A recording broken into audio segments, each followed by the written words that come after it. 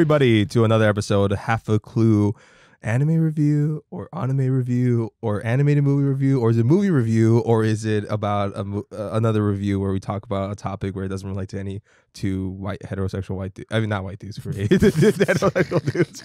It's called half a clue movie review and we're covering today turning red. Turning red.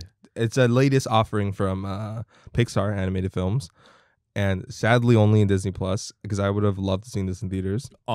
Unbelievable. Yeah, and directed by Domee Shi, who this is pretty much a like a semi autobiographical film. It's not going to be the only semi autobiographical uh, Yeah. film we'll talk about in our coming uh, Oscars episode. Filmmakers are so self obsessed. I know, but with a twist this time. It's like basically it's uh, about uh, Meilin Mei Lee, who is uh, a 13 year old girl living in Toronto, Ca- Canada, and she's uh, very hyper focused. She's trying to win the approval of her uh, mom, but one day after an embarrassing incident.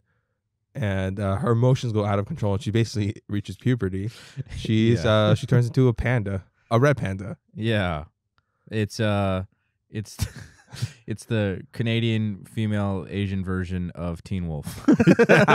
yeah, Puberty hits and instead of a, a wolf you turn into a panda. this is cooler. this is cooler. It's more useful too, right? You go in and out, and it's like, it's definitely a better looking film, you know, Yeah, yeah. ultimately. and Yeah. it's instant too, and you could control your urges rel- relatively. You're not like, "Oh, I want to eat everybody. Uh, Yeah. I'm sorry for Teen Wolf fans who really love it. I, I I know people really love Teen Wolf. Weird, okay. Yeah, but uh, what's I know, uh, what's his name? Dylan. Mc, this is Dylan McDermott or something. The the main guy, and he's now he's like No, Kinda. Michael J. Fox?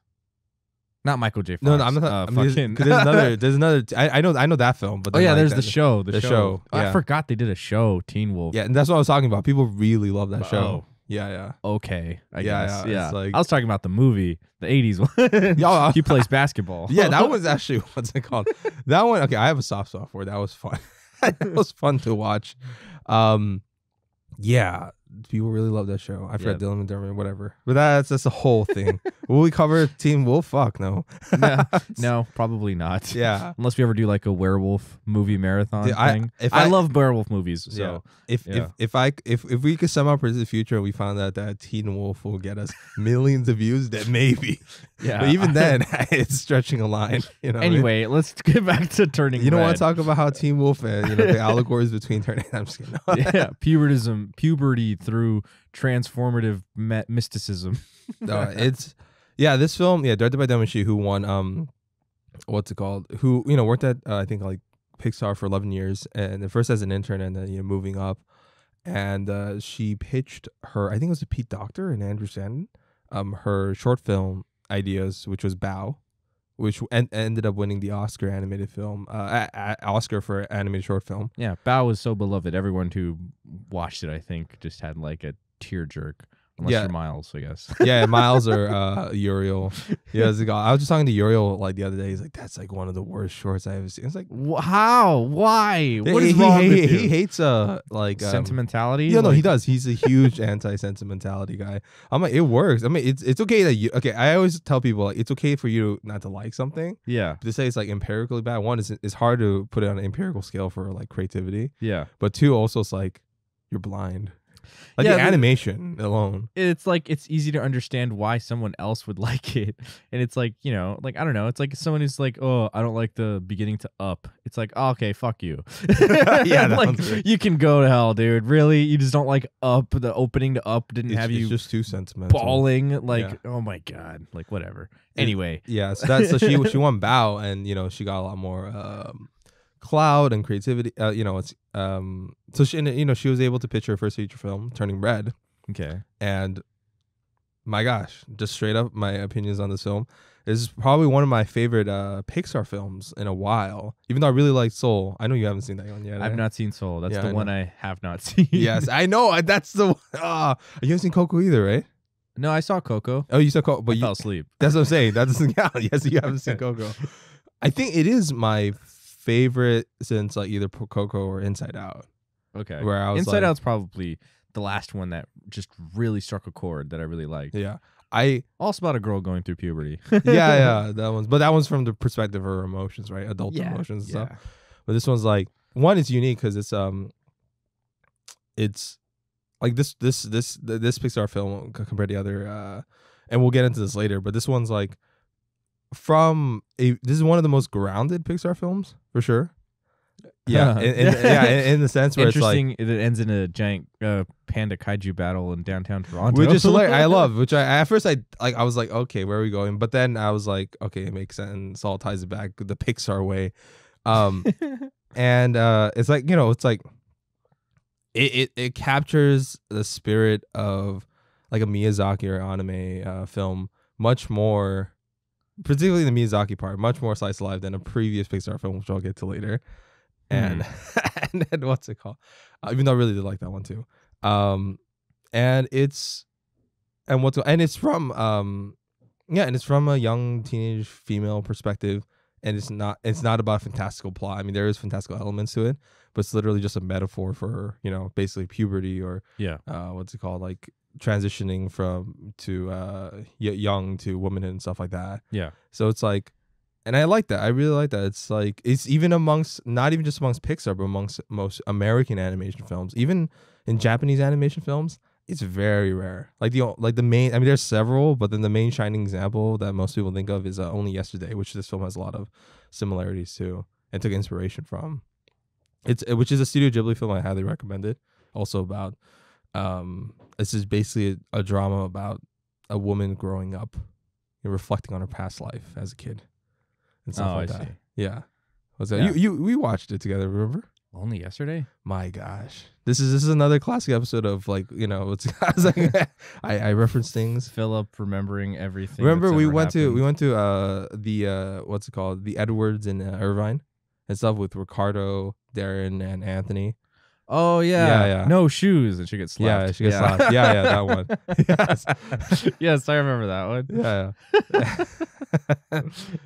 um, yeah, it's uh, yeah, That's I, like the main thing I remember. I'm sorry. I know, I know, because like I remember like the film too. It's like which I get because it's a very hyper focused the subject matter. yeah. Right. It's basically like uh, like a so like a girl who's going through like a, a woman who's going through like quarter life crisis and stuff, and she's reflecting on back, and you're like, huh. that was your reaction when I asked you. What was your reaction? I was like, how'd you feel the film? Huh.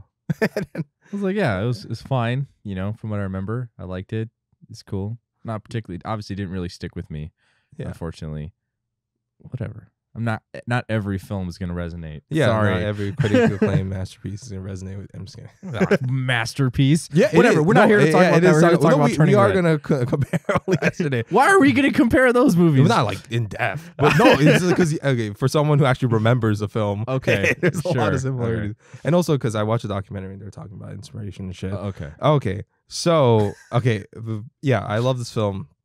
Uh, I was like, I uh, and we'll talk about the animation second, but it's um yeah, just the animation style, the subject matter, how focused it was, and it changed up the Pixar formula just enough. I mean, it did stick to the overall layer. I was like, oh, it, it was one of the most refreshing that I've seen. Even Coco, which I really did like, stuck to the A character B character storyline a little too much.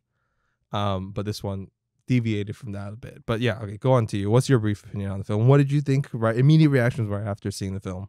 It's very charming. Uh, I liked it. It was a good time. Um, yeah, it's like uh, the animation is cool. I think the characterizations of like all the characters are like you know interesting. Again, it kind of like I can definitely you can definitely tell it's from the same creator who made Bao because there's that like kind of overbearing parent aspect of it uh like that just kind of like carries through the film like it's like you know it's it's somewhat relatable you know like you know sometimes moms can be like uh you know demand a lot of you and you have to like balance that idea of being grateful versus like also wanting to be your own person you know it's like uh, it's tough. And then especially going through puberty where it's like you know it's like maybe you you grow up like always being like viewed a certain way or whatever and then it's like as you begin to change and your outlook and everything kind of changes you realize you know what? I kind of just want to be my own person and that can be really tough on like you know both parties. So uh yeah no i really liked it the animation was like beautiful i think i don't know i feel like they they they used up all like the best animation on like that brief cooking sequence with the dad like Oh, that just- that was insane. Okay, that's Gorgeous. insane. That that I think might be the most beautifully animated, like 3D 3D modern animations, like like little sequence I've Yeah. seen. on the food. Yeah, it was like it, it was almost a little distracting where I was Yeah. like, that was gorgeous. Why? like, I was like, I guess they are drawing uh, close attention to the food and especially like highlighting the dad's skills. Yeah, It's like, oh, he's a, he is a very good cook. So I guess that's that was important. And then later, you know, when she's like, "We made you your best food, your favorite foods and stuff," and she's because the food is very important. yeah, she's like yeah. trying to break away from that, like the family routine or whatever. And it's like, oh, that's good. Um, yeah, no, but overall, like, yeah, it was a very charming film. It was very nice. Yeah, I liked it a lot. Of like the of like the modern uh like Pixar films, I think like I don't know, I saw Luca, Soul, Onward. I did I missed no, I did not watch Soul, and I didn't see Toy Story four somehow. Oh like, my god! I, I, know. like- I mean, dude, that one is like, dude, that's a big oof on your part. I've been trying to get you to watch that film forever. I'm like, dude, I even said like, hey, I'm down to just go to your house and watch Toy Story 4. And you're like, uh, you know, Yeah, it's like I it's uh, I think I was I was definitely one of those people like who I loved the third one so much. And I was like, wow, what a beautiful ending. And I heard they're making a fourth one. I was like, oh, you know, f you. you don't like, trust Pixar. whatever. You know what I mean? Not in you know not in just inherently anymore. They've goofed a couple times. Did you see the Cars sequels? Yeah, yeah, they goofed, but then what's it called? I mean, Toy Story they never goofed, right? Yeah, Their batting average is hundred. yeah. So I was just like, yeah, all right, whatever. I'll like, eh, not not very interested. But then I heard good reviews, and I was like, oh, that's cool. I was like, I bet it is good. And then I just haven't gotten around to watching it. I just don't really have much desire to, but I'll, I'll watch it eventually. Anyway, but uh, besides that, one, and, you know, you know, uh, I was a little disappointed with Incredibles 2.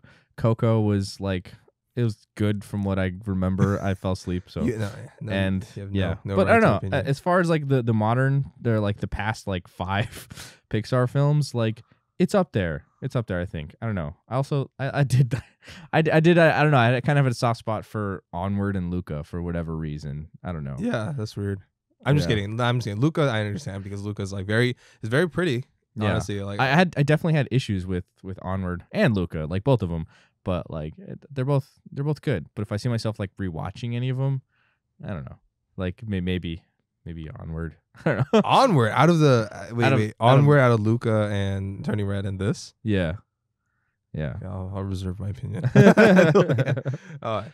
What's it called? Okay, so um, oh, let's just talk about the animation real quick. Know, we briefly talked about it with you know the cooking sequence. Very pretty. Yeah, it's insane. It's like it's frenetic, it's chaotic, but um, like you know, very smooth at the same time, and a lot of inspiration pulled from Japanese animation for sure. Like whether it's um, you know, whenever uh the friends or Mei are obsessing about something or googly eyes about something, they have the Sailor Moon eyes or Yeah, the, the starry eyes and stuff. eyes, yeah. or even like um the way uh, you know anime does it where um well they do it to one save money and two to kind of highlight an emotion and reaction where it's like the camera gets tied on like a like animated character's face in the background is like a single solid color and stuff like that yeah, it kind of fades away. yeah. Yeah. and then like they do like like exaggerated emotion like it's like sweat and stuff like that Yeah. yeah they do that quite a bit which i loved it's just like refreshing for a pixar film i don't know when i don't think there's ever a time where it's like it's been like that yeah. you know for a pixar film like I, at some points i was like this feels not like a disney film like in terms of the Mm. way it's animated right Yeah. um yeah and then and also like their super hyper focused uh like color palette particularly red i mean obviously you know what I Yeah. mean?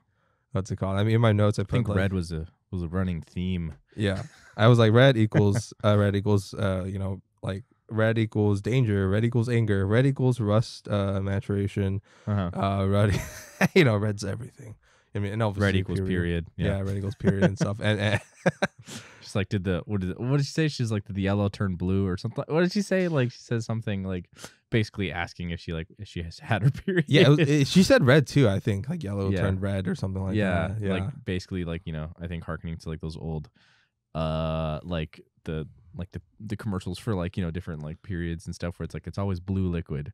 Because the, the world would end if we ever saw red liquid. Ah, we can't handle that. No. it's like in, in a weird way in a weird way it almost feels like the animation style for this not necessarily like in some ways just like the the um the feeling and the pacing of this yeah, feels closer to like Mitchell versus the Machine than like uh like Yeah. onward or something like that. Yeah, yeah, I could see that. It's definitely yeah, it's more of like a stylized kind of like uh free flowing kind of animation style, which like which is pretty cool. Like it's it was fun. Uh, but but it still has that like insane Pixar detail, right? Where like Yeah. the fur simulation. Yeah, I was gonna say that like probably is what impressed me the most because like I remember what a big deal it was when they did uh for Brave, right? The yeah for. Brave the hair everything also red. It's kind of funny. Uh, and it was like a big deal. Like, wow, they had to like create all this crazy animation for this, and it's like now the fur is like you know it's very prevalent. Yeah. like it's like all that big fluffy fur, and it's like that's that's cool. Like that's a that's a lot to deal with, but and then there's yeah. the um, what's it called? Like, and then even the water simulation when he's like cooking and shit, or yeah, like yeah, that's great. in general. It's like I know water was like if you watch Finding. I mean, it's not bad because like they're in water the entire time. But watching like Finding Nemo, like sometimes it's it's just basically like, people, you know, just like little ob- animated objects floating, but very well. yeah, But then like in Finding Dory, that's where like they were like, okay, now we're Pixar, we got the money, yeah, and, and then they kind of up that.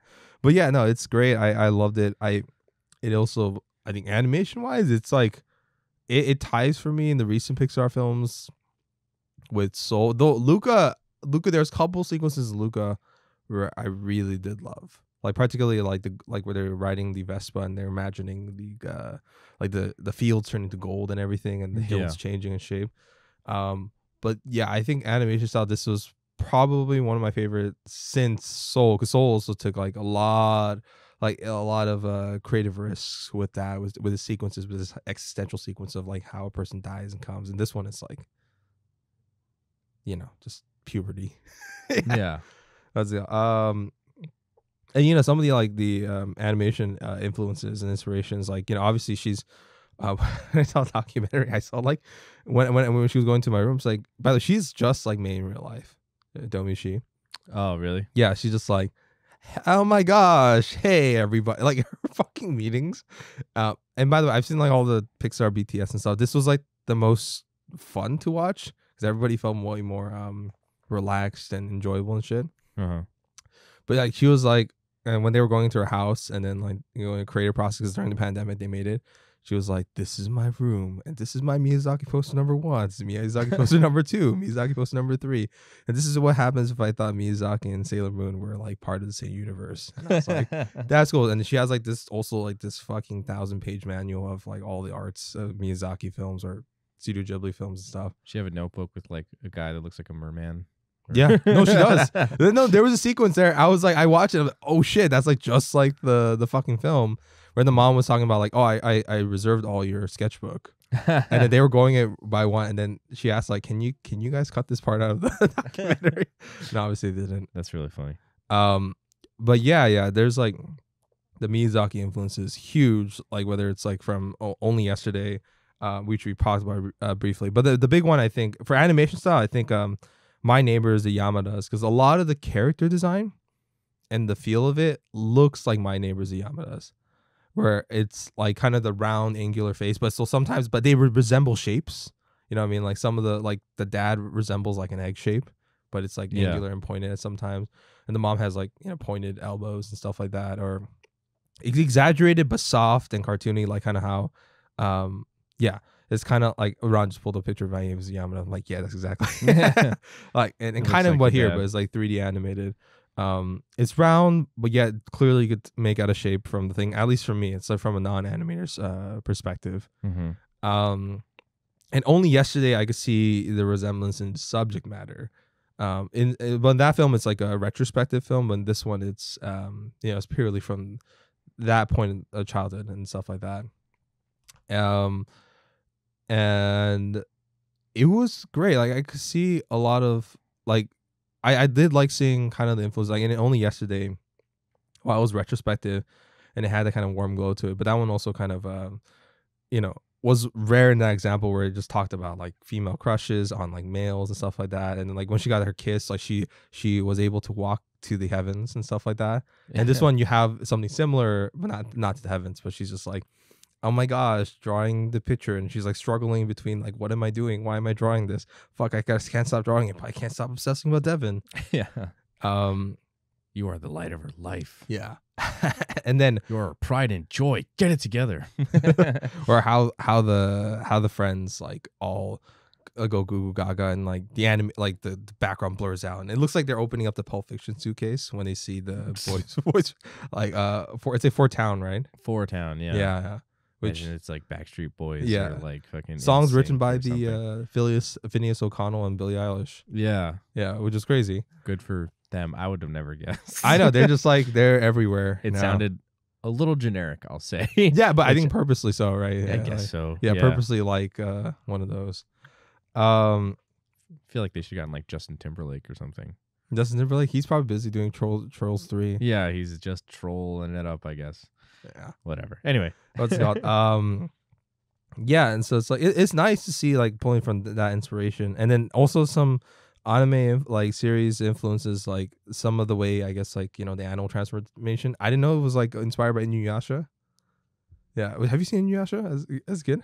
no, You never seen anything, right? I don't think so. It sounds familiar. but- It's it's the one with like the guy with the white hair and the giant sword. Uh oh yeah, I've not seen it, but I know what you're talking about. Yeah. Yeah, that, and then there's obviously Sailor Moon and Fruits Basket. I, I definitely saw Fruits Basket in there.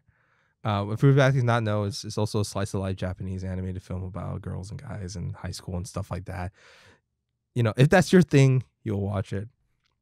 Um, and because of this, inf- you know, influence and having from an Asian filmmaker who's pulling in from much different sources from her other contemporaries, who are probably putting from more American uh animation references from the old times.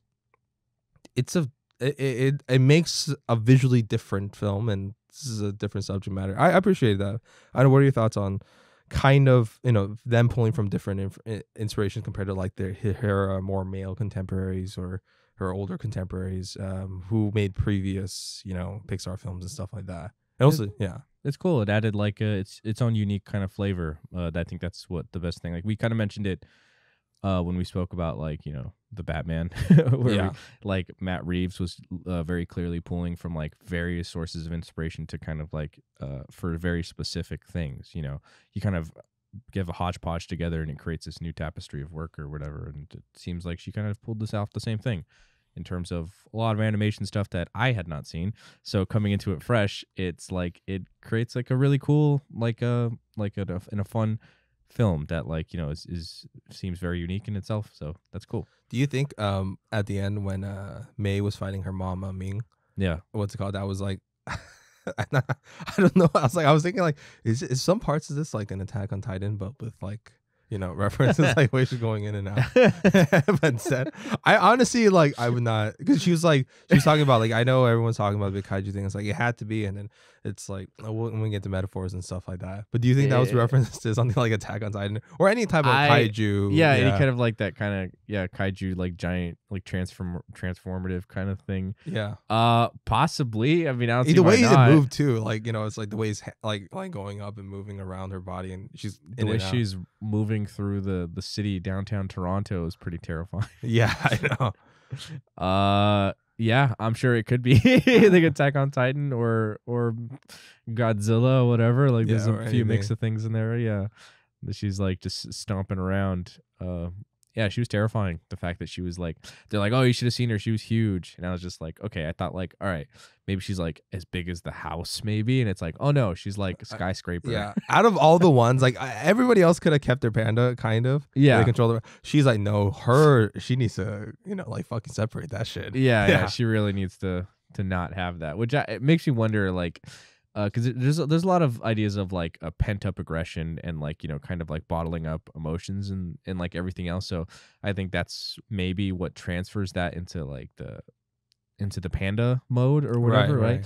Like it's kind of like that built up uh like anger and emotion. So I feel like she's so she's wound so tight that I imagine what her mom did to her because she's obviously so terrified of her mom, which it's kind of like it seems like Disney and Pixar have kind of really been sticking to that theme of like uh, generational trauma. You know, Yeah. it's about family, uh, as Jeremy would say. yeah. Oh, let's let's get into the the family aspect of it then. okay. Yeah. transitioning. Yeah, it, it is a, it is that thing, especially with this one, particularly because it's it literally you see the generations before then, and Yeah. they constantly mention the ancestor Sun Yee and how like while it was great for her, it was a blessing, but like as Uh-huh. generations went on, what it was a gift was a curse, right? yeah. And that trauma is stuck through like in a metaphorical way, or metaphorical and very physical way, Yeah. like to these uh to future descendants. Yeah, it's kind of like what we're saying, like uh, from like Encanto and stuff, where it's like basically the grandma had like a very real based fear of like what happened to her and like the the trauma that happened to her, and that just carried down to generations where it kind of just becomes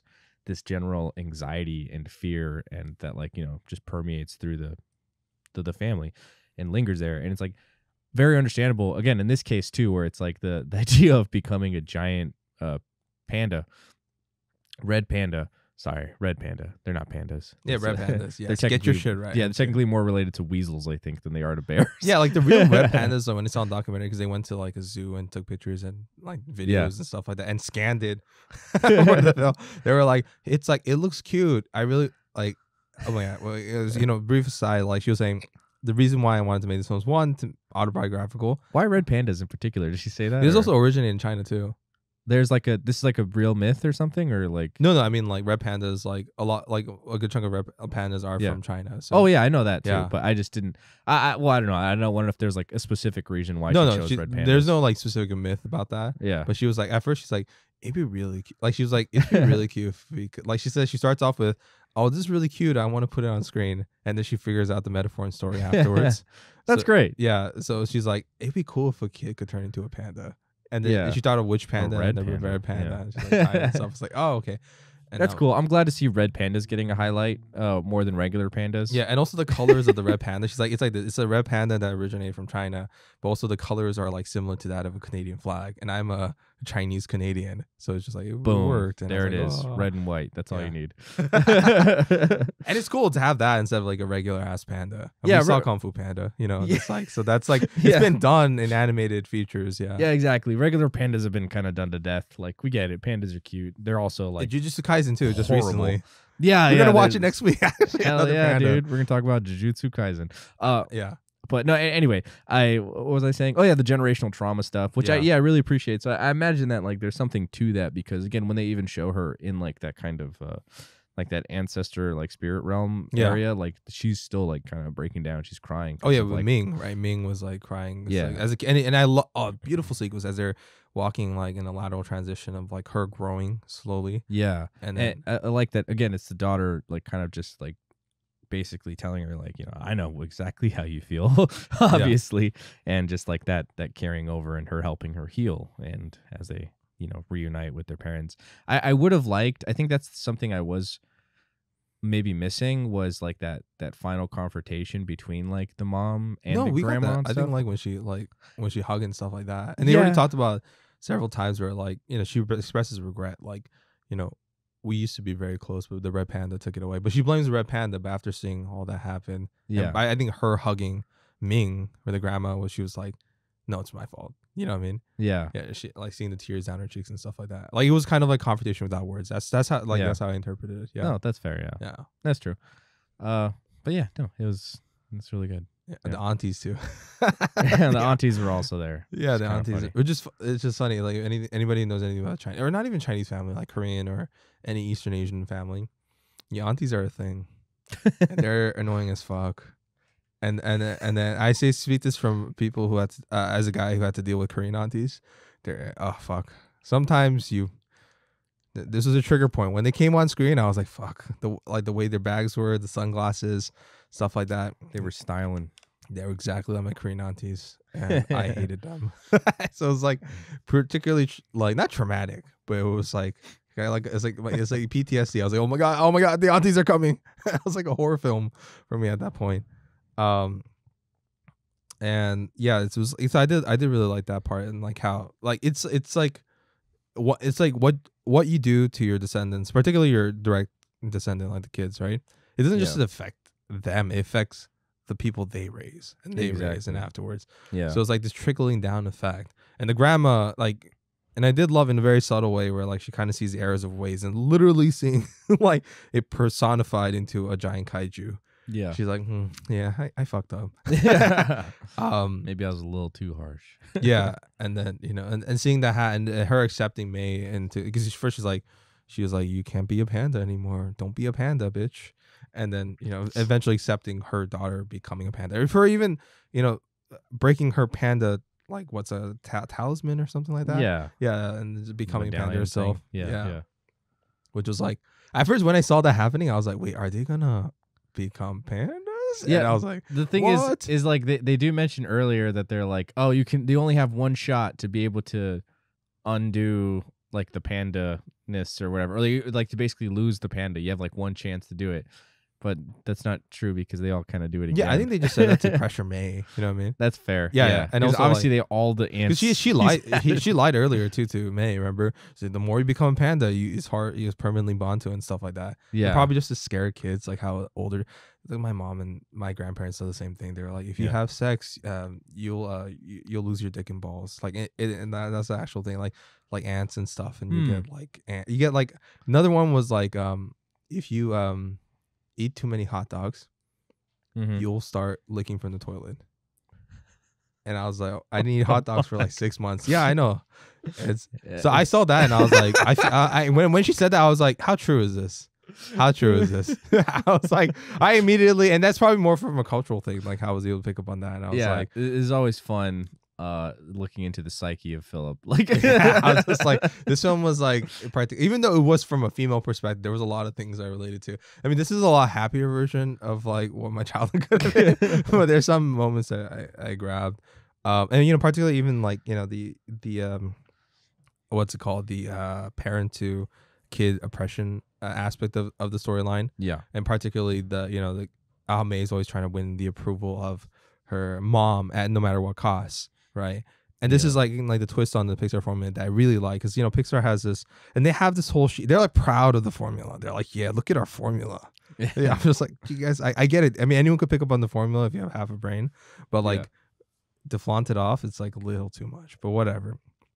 But like, um, I like the fact that this was not. She didn't just have one best friend. She had like three best friends, which is. And by the way, if you guys heard that, it's an atomic dog attacking our uh, recording studio right now. He wants to get in the podcast as our host, but we rejected him. Did So you say Atomic Dog? yeah, Isn't that like a wasn't that like a PlayStation video game developer or something? no, it's Naughty Dog. You're talking about Naughty, Naughty Dog, right? Dog. Wasn't there like Atomic Dog? Is that something? There was like uh Infinity War, and they had the atomic symbol and stuff like that. no. Yeah. it's something else. Whatever. Doesn't matter. Yeah. Point But- is, there's a dog barking in the background. right yeah, now. it's fitting for this episode. We're talking about animals. Um, I like the fact, and just kind of like how, and you know, in the documentary she shows her friends, they kind of look like the people too. That's funny. Um, where she's like, it's it's not just the A B character storyline, kind of like even Inside Out, which I really did love.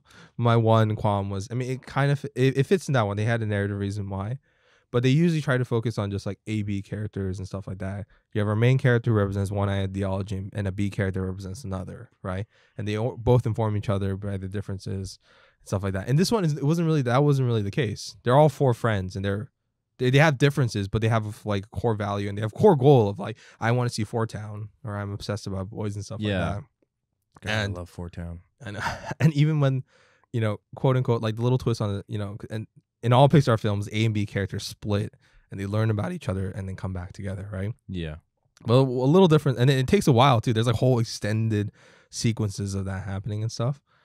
But in this one, it's like what it felt. It felt a lot more natural because like I I I I've had exactly that moment happen where um it's kind of like you know your your your parent blames like your non-Asian friends. Yeah, and they- yeah. I mean, one of them was Asian. yeah. What? No? No, don't. No, I think Priya's Asian too. She's Indian. That's what I was, oh yeah. Well, Yeah. I was gonna say I think the Eastern Asian, was right? Korean too. Yeah, she was Korean. The I think it was uh, her name was Abby, right? Yes. Yeah.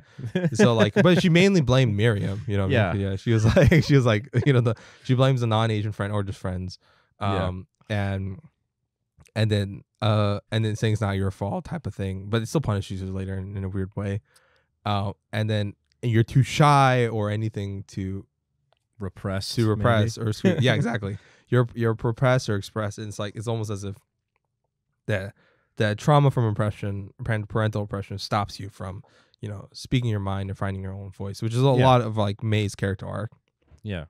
so she's like um so that scene i felt was a lot more organic and natural and also rings has a rings not a hot like it rings more uh, a bell of truth than some of the other separation scenes and two it was very like they they reunited quickly without much drama you know what i mean Yeah. Yeah. She she just like straight up apologizes. Like Yeah. I'm sorry. this like you know this didn't happen. I feel like if it was like another kind of film, they would have been like she would have been trying to like follow them around school. Guys, wait, let me just give you a chance. And they're like, no way, man. Yeah, they, and like, it's like a long extended 20, 30 minute Yeah. sequence. And she's like, how am I gonna win back their friendship? Yeah, I know. It's like, and that's how I was like, oh, and it's not it's not just A and B. It's like A B C D. You know what I mean? But this one, she's just like shows up. She's like, guys, I'm really sorry. I messed up.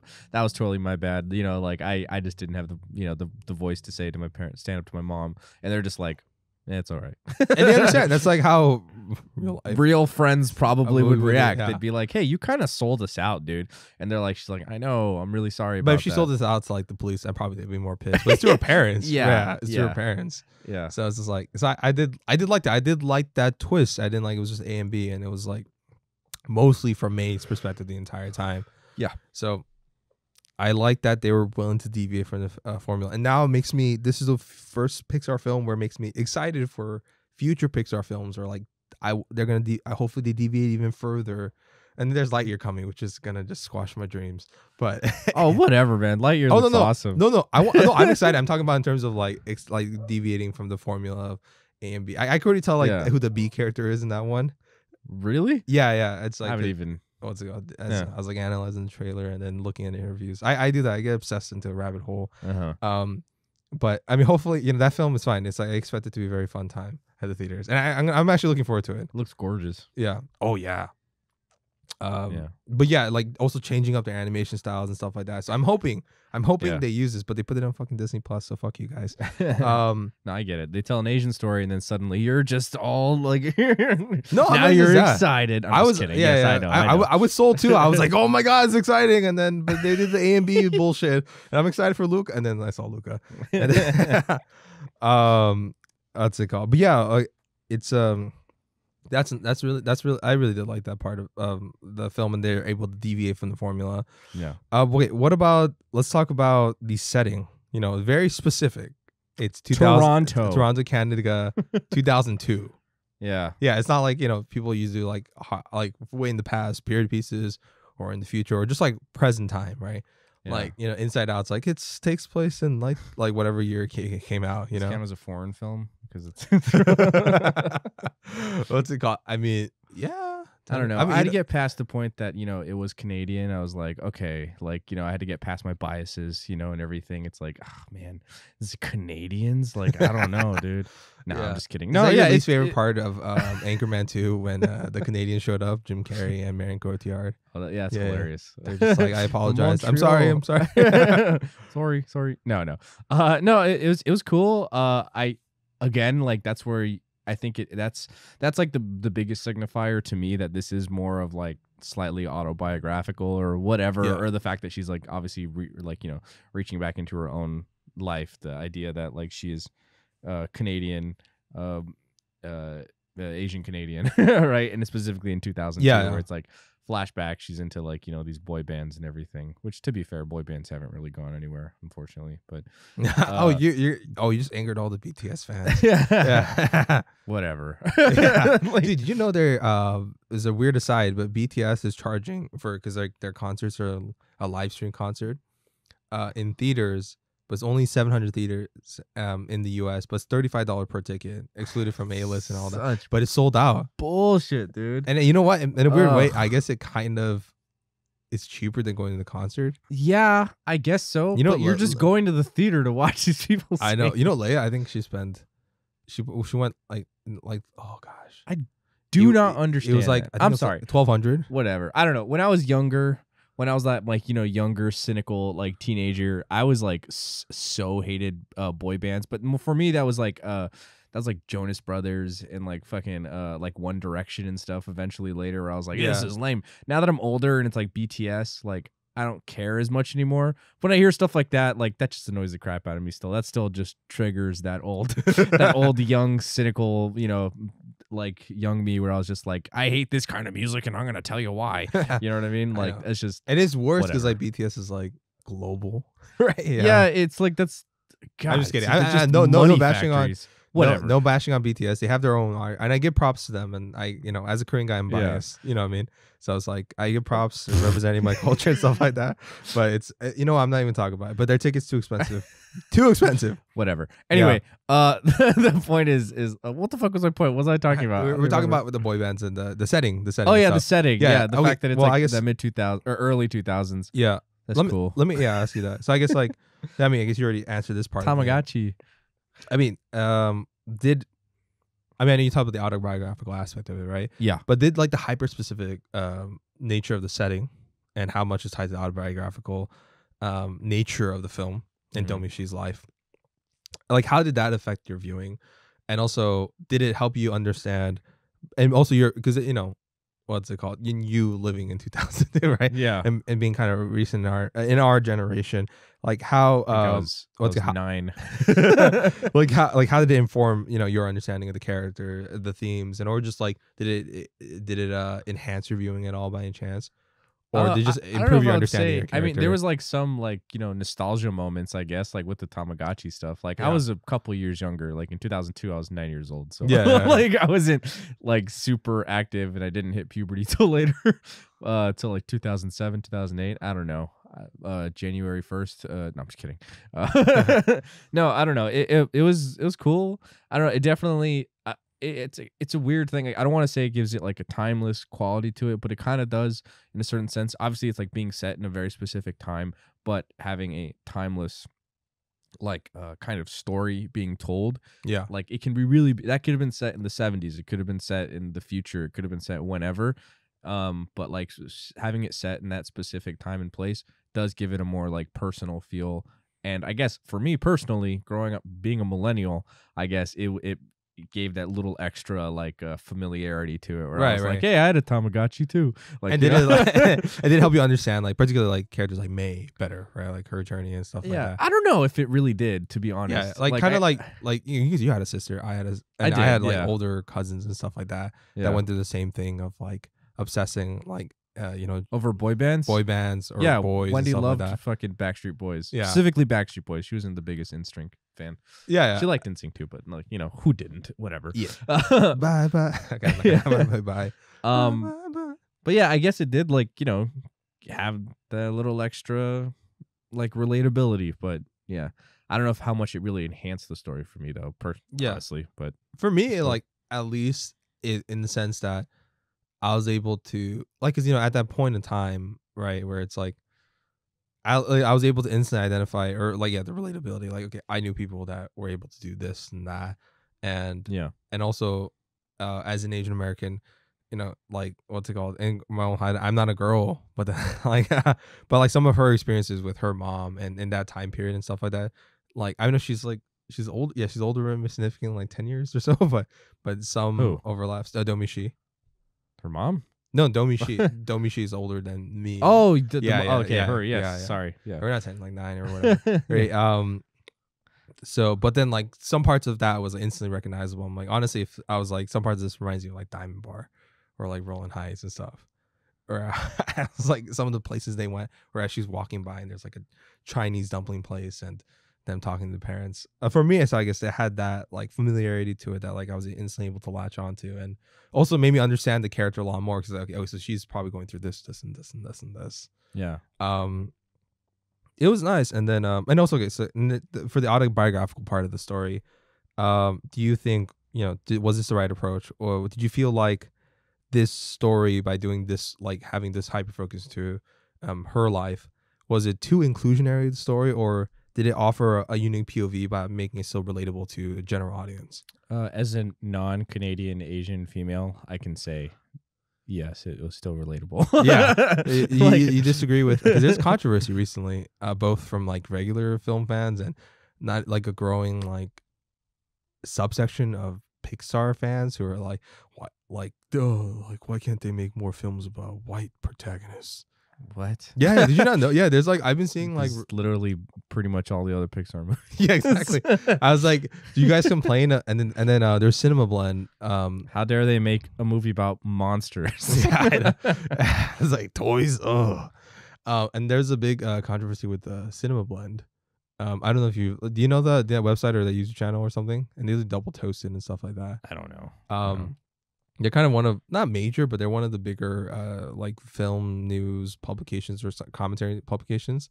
And the the managing editor, like one of the fucking like like uh, heads of that publication, wrote, wrote out a review on his website, and the whole bullshit like, oh, I should have edited for. You're the fucking editor. Of course you edited your own shit. Fuck you. But Yeah. he was saying that oh, this is like the horniest Pixar film ever, and um, I don't know. This film is like little too inclusionary and too specific for it to be relatable to anybody but a super small marginalized crowd. What the fuck? Yeah, she he said that, and I was like, what the fuck?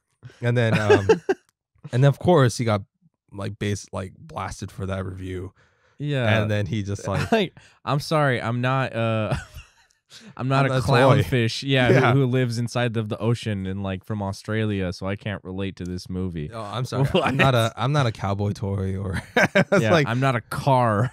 it's like, well, shut the fuck up man like it's Ratatouille is about a dude. a fucking rat. It's a rat in Paris, Paris. who's like trying to be a gourmet chef. How relatable is that to you? What the fuck? But then the relatable after that is just like you know achieving your own dreams despite any like yeah, uh, exactly. obstacles. It's There's the like a relatable theme element of the film. The themes.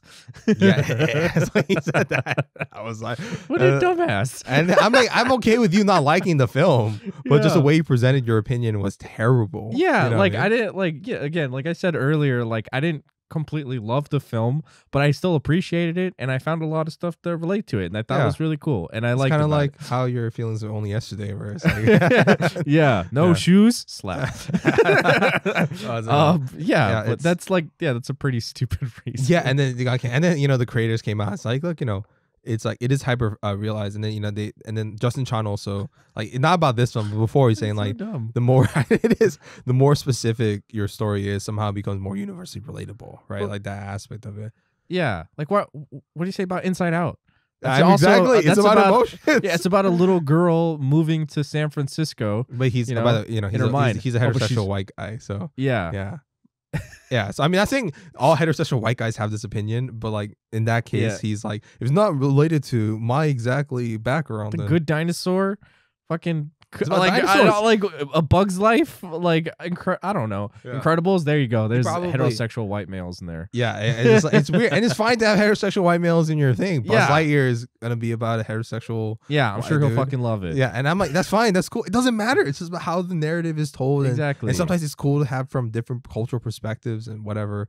But yeah, there's him, and oh yeah, he got yeah he took down the review, and he's like, I'm sorry for not explaining my opinion better. It's like, no, your opinion's bad, so you should just shut the fuck up. yeah And also too, yeah, and it's like so he got roasted. Is like uh they were like like he mentioned b- best films, and of course his best films were all like with just heterosexual white guys. Yeah And then they were like, "What do you think was Seven? Sam?" godfather that's us jaws that's us yeah, he's like, and he's like, he's like, uh, and it, they were, those are great films. They- back to the future that's us He's sorry like- that's an aziz ansari bit yeah. exactly. Oh yeah, he does all crazier stations, right? yeah, no, for Aziz Ansari when uh when fuck he said like basically when uh Slumdog Millionaire was doing well and they're Yeah. like oh like how do you feel like like are you excited about that and he's just like yeah sure a bunch of people that like I have nothing to do with that made a movie that you know that they kind of look like me so I must be I have to be really excited he's like is this how white people feel all the time Yeah, yeah. Godfather that's us And then they're talking about. I remember in that transition. Oh yeah, I, few I good men that. hell yeah sorry anyway but he was like, um, and then uh, and then someone said like Seven Samurai, and he was like, yeah, it's a masterpiece. And then they were like, Are you sure? But it's like about Japanese people and samurais. I don't know how you can Yeah. relate to it. I was like, uh, but it's I'm I'm glad you know there are very classy responses from the creative team.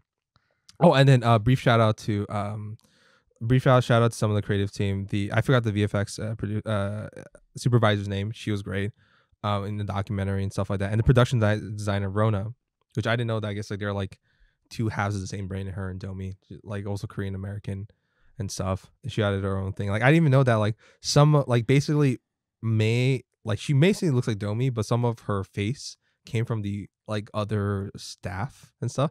Your eyes are pa- you have patchy eyebrows. Let me put that in Mei. You have a weird lip, you know, depth in your lip. Let's put that in Mei. uh I just want to give a shout out to like uh Rosalie Chiang uh I think she did a Yeah. great job Yeah, let's talk like, about the voice actress Yeah, Like, the voice case. I think she's like yeah, she's a standout. Her and um honest, and the kids too, like Ava Morse who played uh, Miriam uh Hyein, uh, Park Hyein, uh Hyein, uh, as Abby and um, what's it called? I'm sorry, I'm gonna butcher I'm gonna butcher this name, but um and I couldn't find anybody to pronounce the name, so I'm sorry. But I'll just say your first name. Uh Ma- uh Maitri, uh, Maitri uh Ramakrishnan. that uh, sounds about right. Yeah, Priya, who, who plays a deadpan fan, uh, friend, which is hilarious. Yeah. Yeah, and then um yeah, but Rosalie Chiang, gosh, she was great. She has like the weird, like small imperfect quality to her thing, but also is very childlike. That Yeah. it just works so well. Yeah, the super energetic friend. Uh I was watching uh, this movie with like uh my nieces and stuff and then they were like uh for Priya she was like she's so cool. Yeah. she never loses her cool. I was like, yeah, she doesn't. She's very she's, she's very, very cool. cool. I even like what they did with uh Tyler, the bully and stuff, where he's not like the stereotypical. Like he has very relatable things. Like I just want to be popular. I want kids to come to my birthday party. Can you please come over? And he's freaked out by like he's kind of like, oh yeah, the panda. I'm paying you two hundred dollars for a kid. That's like fucking huge. Yeah. Although I mean, he's very clearly a rich kid, so he's Oh, yeah, like, yeah. yeah, sure, I'll give you 200 bucks. and then but then and then at the end when you see that like there's a different dimension to him where he's like Yeah. unlike the you know Vespa King in Luca where like what's Ah. it called he's uh well you didn't love that character it's the best character of the film Honestly, it's the worst part of the film. Yeah, it's so unfortunate that like Yeah. he's the thing that really no. drags it down. Yeah. Ugh.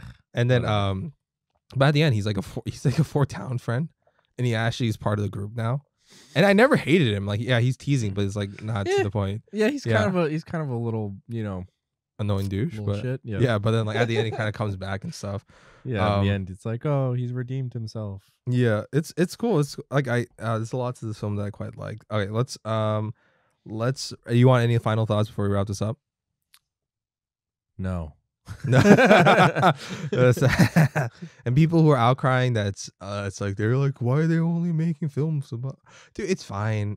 Like please let's let's be open minded, please. about what? Like Yeah, like no, with the outcry earlier. like that guy? Yeah, they were like not even just dumb. it's like oh, there's like Coco. You guys already got Coco. I'm like, dude, it's like What do you mean uh, you guys got Coco? What Yeah. the fuck? That's like one specific. Yeah, and I'm just like, you guys, I think all minorities are represented in Coco? Like we all That's just like- relate to Coco. That's what I hated when Black Panther. They were like, bro, you guys already got Black Panther. You guys really need Shang-Chi. I'm like, I'm not black. you know what I mean? I think it was cool to see Black Panther, and I love that film. I'm represented. Fuck you guys. yeah, I'm whatever. sorry. Go watch Onward. There's like yeah, whatever. or Luca, depending on your definition of white. Who knows? Race is a myth. Anyways, let's whatever. just It's it's okay. So um, it, like I said, I'm very, I'm very glad this film came out. Very excited. It's exhilarating me to the point. Not even just because it's about you know Asian, uh, Asian like Asian Canadians, Asian American, it's Asian Canadians, but and it was very relatable to me on that front. But um, but just like you know the hyper focused nature of that film and how autobiographical it is, how it deviates from the Pixar formula just ever so slightly in a cool way, and the animation style, fuck, yes. So um, I'm just gonna my rating uh in the museum because I feel like this will be a trendsetter for really. yeah I because I in a way because my part of my criteria and thing it's like ha, will this influence future films and be kind of a trendsetter for that and I think yes for especially American or Canadian particularly American because Pixar's an American studio um, What? yeah uh, how will influence uh, future animation films and uh, not even just for Pixar films I feel Yeah. like it's for all hopefully it's I mean, everyone else copies Pixar, anyways. yeah so and then um how it will change other Pixar films or even other films and maybe we'll see more Asian American or Asian Canadian or Asian like um, Australian stories oh, let's hope not. and um and also like it you know kind of like and that's why Mitchell's Regime was is also in the museum for me like kind of like that where the It's a animation style trendsetter. yeah and that's a big thing and it's it's risky and but it pulls it off really well Uh, I I know for you it's probably what's like uh, you know should I guess should I guess your rating or guess. guess uh streaming with ads Yeah, you got it. I knew. I, I could already tell. I, I think it was like this. You had the same feeling. No, actually, it might be only yesterday. It might be lower. Only yesterday. I don't. I can't remember. Yeah, also, I- it was a long time ago that I watched it. My my opinion might have changed from then to now. but you haven't I don't seen know. it again, right? So No, I've not seen it yeah, again, that's what I'm no. Uh, no, it's like again, that's not. I, I don't mean to disparage the film in any way. No, it's just like your own there. personal thing. You Yeah. you probably didn't relate to it as much as someone like obviously. Yeah, yeah. dude. If it about a, a straight man, then yes, I would have related. Or even also just I'm like- just kidding, please. it probably just didn't appeal to your sensibilities, not even just like on a yeah no no aspect. really it's like no it was, it was a great film it was you know very charming i do really hope that the kind of like you know the the more freeform animation style from stuff like you know mitchell's and the machines although i like this one's it's a little more subtle it's like this like taking that kind of some anime influences and kind of engrossing like kind of mixing it in more with american animations and like again being like a big studio like pixar which is kind of like the titan of animation uh just you know only next to like disney really. Uh uh, that's that's really cool and i honestly hope that that trend does move forward and we do see more of that. Uh yeah so like again I, I enjoyed it a lot. It was it was a great film. It was charming. Uh i know my niece if i if this was for my niece's rating she would put it like you know in the museum of on the, on the planet. yeah, like in the museum she's watched it like four times since it's come out and it came out like what like thursday like oh, she, she beat me. Friday. She's literally seen it four times. And it was so funny because like we were watching it in the living room. This is like her fourth time watching it. And she like and she had to go up to go to like the restroom. She's like, wait, can you pause it? Pause it. She's only four. By the way. I like. She has good discipline. Wow. Yeah, exactly. She has better discipline than Ron sometimes. She says on her phone. One. Whoa, whoa, whoa! But she was like, Yeah. "Pause it, pause it, pause it." And Wendy was like, "Have you? You've already seen this like so many times. Like, just pause it." So yeah. Um. Anyway, so so good, for good me, trend. Good trend. So for me, I'm gonna say yes. Uh, it's it's up there, and you know, honestly, it's like higher up on like the streaming with ads. Like if anything, I'd like might put premium streaming because I did enjoy it, and I do see myself watching it again. So, yeah. But you said you watched Onward before this, right? honestly, just because I haven't seen Onward since I first watched it, so I might want to watch it again. It was charming, and the the story about the heart, the dad, and everything, that was very touching. I know people who got very emotional watching that. You know. yeah. No, some parts of it was good. I think. Yeah. If anything, it's weird. That It's- film, it's like, it's like in a weird way. When I compare that to Luca, it'll be real quick because we're an hour. I feel like we should compare that to uh uh oh my god that oh it's the movie that, that- never mind never Yeah, like mind. Onward is like in, in a weird way. There's no huge crazy bright flaws. sorry oh, bright. Yeah, yeah. It's like no huge crazy. Actually, no, I, I crazy flaw, but I, I didn't feel like it was crazy exceptional. And also, I think that it didn't utilize the setting well enough. yes Yeah, that was like my a big thing. biggest Like the fa- like, what's the point of us doing fantasy but with no fantasy elements? It's, it's just it's like yeah, there's no point of that. that was my biggest issue I had with it was like I, I liked like the basic themes and the story uh, elements or whatever that was cool and the fantasy stuff is great like I love fantasy stuff I mean we're not It here to talk rare. about yeah, Yeah, we're not here to talk about onward honestly Yeah. but I just brief thoughts on Yeah. onward was the fact that yeah it did feel like the magic and everything felt super underutilized and like a little bit lame but oh, there's but- the A and B character thing. yeah, but overall, the main story is like the theme was what I really liked. And it was that was very sweet and touching. Chris Pratt Yeah. did a great job. Whatever. Yeah. Anyway, I, Uh, thank you guys for another for episode. Half A Clue. Tell us which is your favorite animated film. What is your favorite anime film? What's your favorite Studio Ghibli film? what's your favorite modern Pixar film? By modern, I I count think- everything after Maybe well, after U. uh, was it well, after what twenty? What should we say? Twenty twelve. Well, I was gonna say Monsters. I was gonna say uh, Monsters University because that's like then there's like that six year gap since then, or seven years. Sorry, the past seven years, or should we just say fuck yeah, 2012? Yeah, just 2012. Since twelve. Brave. Or how about this? After um, was up? Oh, up was after Toy Story three, right? Uh, wait, wait, let me just double check. No, no. Okay, so I'll just after Toy Story three because that's when it hit a little bit of a a rut. Yeah, so after Yeah. 2010, after 2010. Okay. Yeah, yeah. Okay. Thank you guys, and then um, thank you guys, and honestly, really, thank you for the continuing growing audience. We're we're still humbled and shocked by people actually listening to us. shocked. Yeah. my jaw hits the floor. thank you guys. thank you guys so much, and uh, check out our next up- upcoming episode. Bye. love you. Thank you.